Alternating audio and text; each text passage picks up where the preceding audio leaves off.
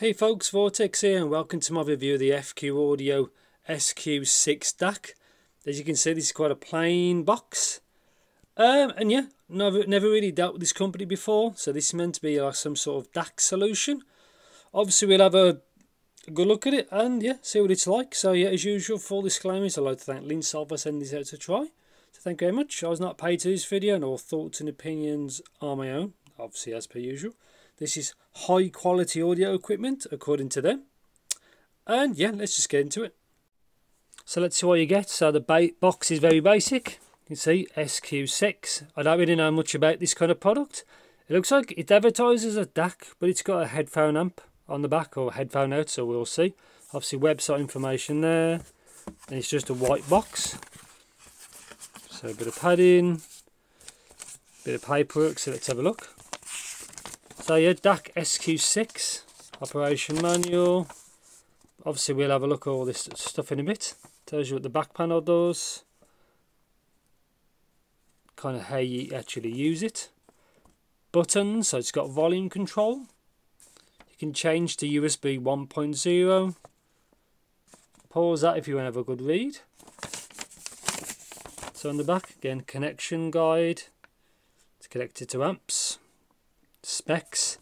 So it's got the ESS 9038Q2M, which is good. There's the chipset. You can see what supports, up to 32-bit 384. Coaxial supports, actually it's quite a lot. So headphone out, which is on the back, which we'll have a look at a sec. 260 watts, 32 ohm. So that's kind of the output of a really good dongle kind of DAC. And this is USB powered as well. It's the size of it, so it's not that big. So that's that cable so it should be yeah so USB-C to full size type A.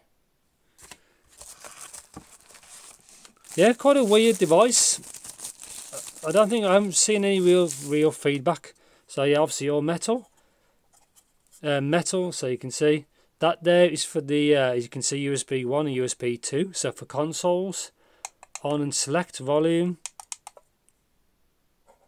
obviously each one lights up for what it is. So USB in game console supported so it's got two opticals in and out coaxial RCA's out. Um, obviously in the headphone jack it says it supports microphone but on the back. Um, and that's it. I have no idea what this is like but it looks like it's USB powered. So yeah after a bunch of time I'll see what this is like and yeah I'll see you in the future guys so welcome to my review section of the FX Audio DAC SQ6 and this is way more than just a, a DAC and I'm going to overlay an image now of what it actually looks like in use and size. So in the image you see that's my topping E30 DAC and see the lights on the front. Now in relation to that topping light it's about that brightness it, and it's red.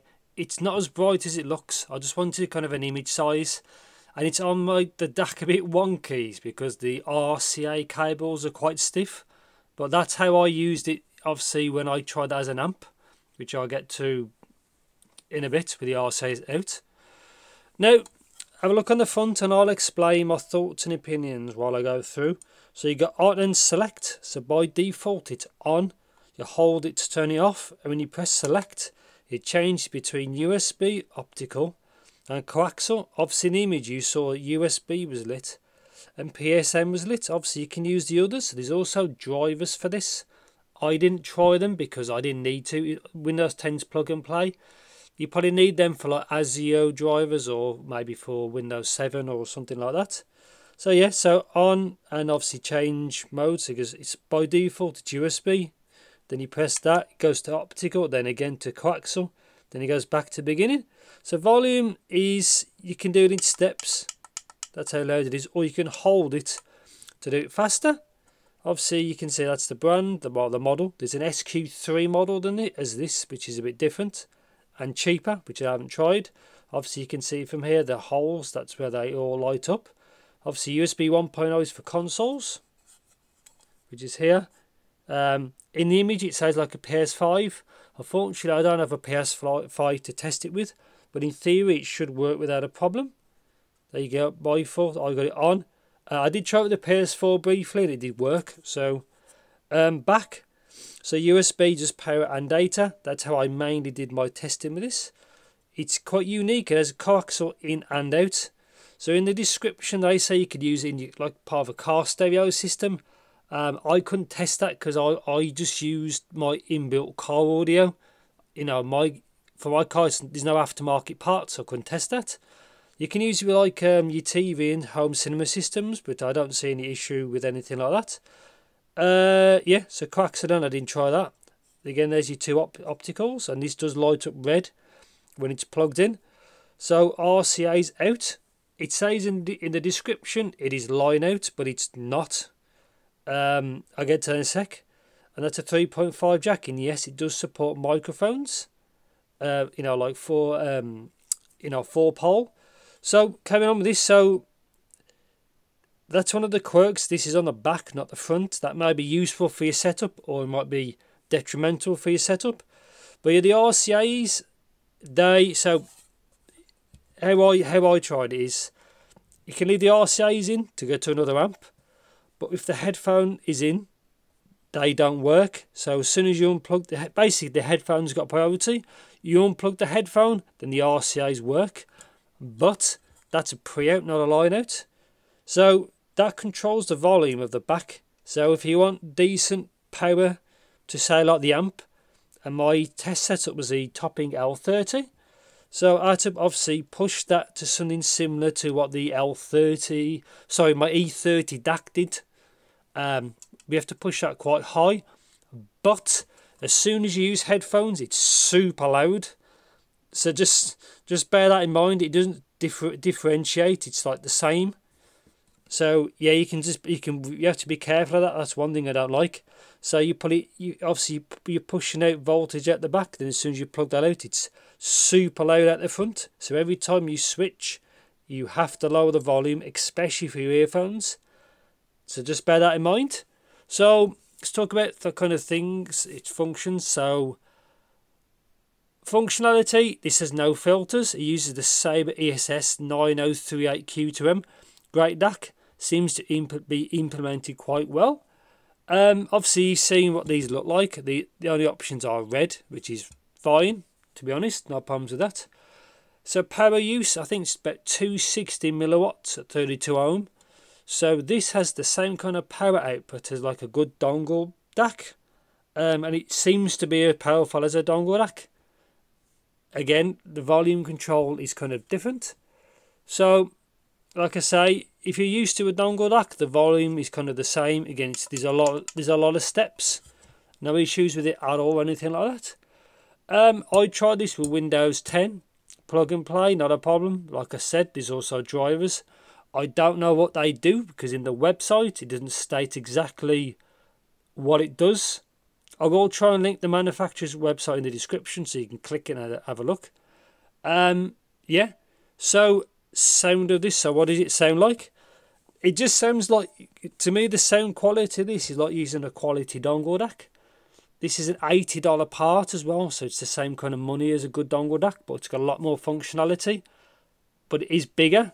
So sound quality is is very good. It's a detailed set.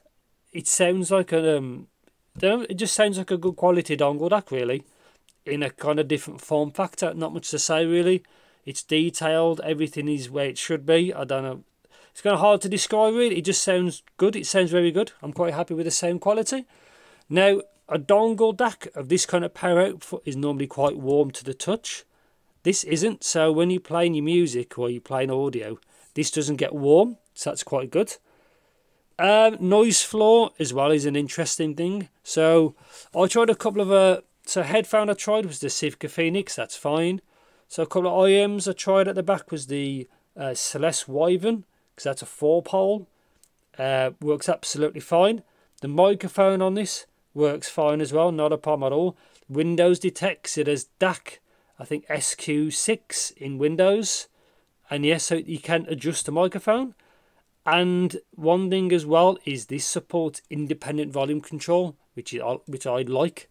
So you can press the volume on the back, and that doesn't affect Windows volume.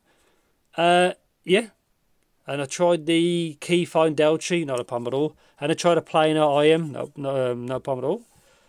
uh, yeah, so that's that. Does the SD, if that really matters to you? So enough waffling on. What do I think of the SQ6? I like it. It seems a little bare bones and it's a bit odd. So the things I don't like really is two items. Everything else is fine. Is I don't like if you switch between RCA and headphone jack, which you have to pull out, it's super loud if you go back to headphones. So you have to bear that in mind. It should would have been good if they could get away around that, but maybe they can't. Um, and what else is there? Yeah, so that and basically having a headphone jack on the back. Be good if there could be a switch for line out, pre out, or uh, a way to switch between yeah, switch or switch between headphones and the RCA at the back, which Topping does. But again, this is much cheaper. Shame I couldn't try it on the PS5.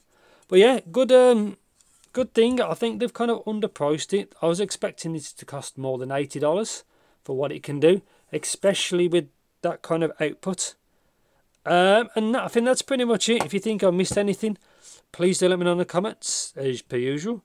Thanks for watching, take care, and yeah, I'll see you in the next video.